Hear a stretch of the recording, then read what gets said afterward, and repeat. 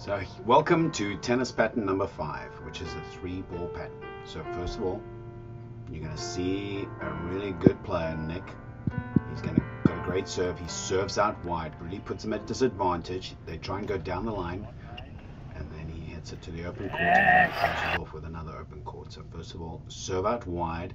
They're going to scramble, maybe hit the ball late, so they go down the line we go forward, we hit the backhand in the cross court open court and then we hit the forehand into the open court. So this pattern often occurs where somebody hits you a forehand or a backhand shot and you're going to hit it cross court. And these are running so this you pull them out wide they hit a cross court. We look how Nick actually comes in he runs in and takes the ball early so he takes away their recovery time. So if you can go forward and take time and then they try and go down the line again and then you run and then you head across court again closing off the point. So let's just see Nick doing it again